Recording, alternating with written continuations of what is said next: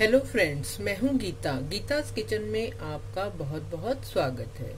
दोस्तों, आज हम बनाने जा रहे हैं इंस्टेंट कड़ी जो लोग जॉब करते हैं या फिर जिन्हें जो कड़ी बनाने में दिक्कत लगती है, उनके लिए ये बेस्ट ऑप्शन है और खाने में भी ये बेहद स्वादिष्ट। बहुत ही जल्दी बन के तैयार हो जाती है और खाने में ये बहुत ही स्वादिष्ट है। आप इसे ज़रूर बनाइए। तो चलिए शुरू करते हैं। तो इंस्टेंट कड़ी बनाने के लिए हमें जिन चीज़ों की ज़रूरत है, उसे आप नोट कर लें।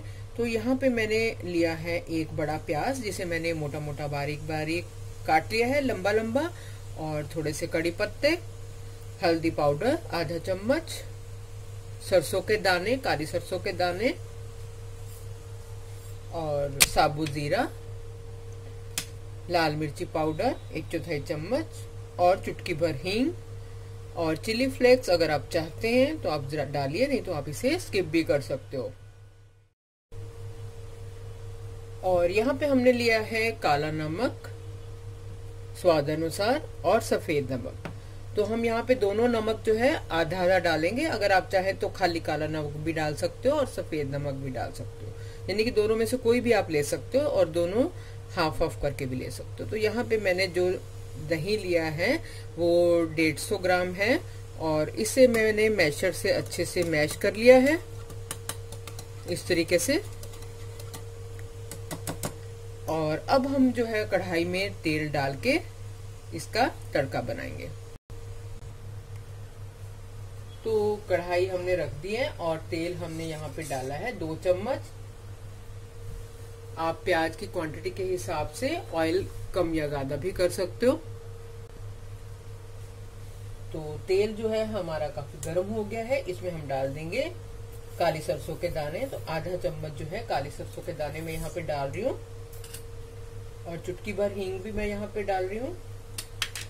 और साबुत जीरा, आधा चम्मच। और साथ में हम डाल देंगे कड़ी पत्ते। आप चाहे तो छोटे हैं तो साबुत भी डाल सकते हो, नहीं तो इन्हें काट के भी डाल सकते हो।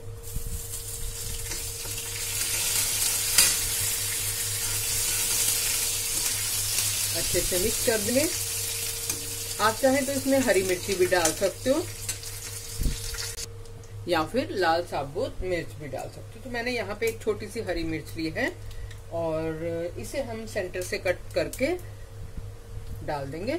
और साथ में मैंने यहाँ पे लिया दो साबुत लाल मिर्च। इसे भी डाल देंगे। दो मिनट भूनेंगे इसे। और इसमें हम डाल देंगे लंबे कटे प्याज।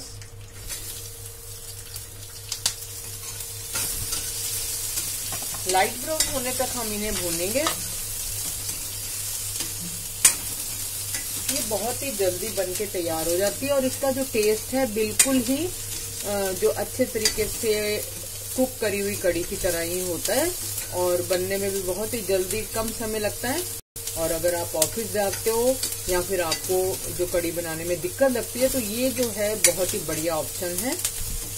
तो इस तरीके से हम इन्हें हल्का हल्का मीडियम फ्लेम पे भूनेंगे और ज़्यादा इसे नहीं आपने भूनना, हल्का सा लाइट ब्राउन होने तक हम इन्हें लगातार चलाते हुए भूनेंगे।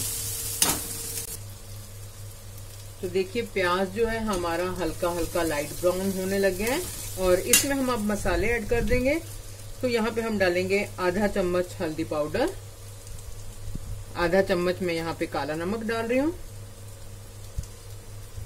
थोड़े से चिल्ली फ्लेक्स करीबन एक चौथाई से भी कम, और लाल मिर्ची पाउडर। क्योंकि इसमें हमने हरी मिर्च और साबुत लाल मिर्च भी डाली है तो हमें मिर्ची को ध्यान से डालना है।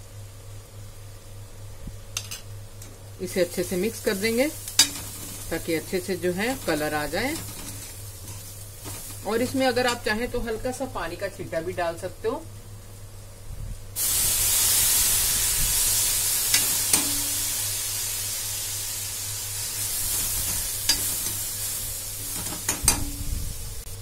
तो देखिए, जो प्याज है, हमारे काफ़ी सॉफ्ट हो चुके हैं और इसमें हम डाल देंगे नमक व्हाइट नमक। आप पहले भी डाल सकते हो। लेकिन मैंने यहाँ पे अभी डाला है।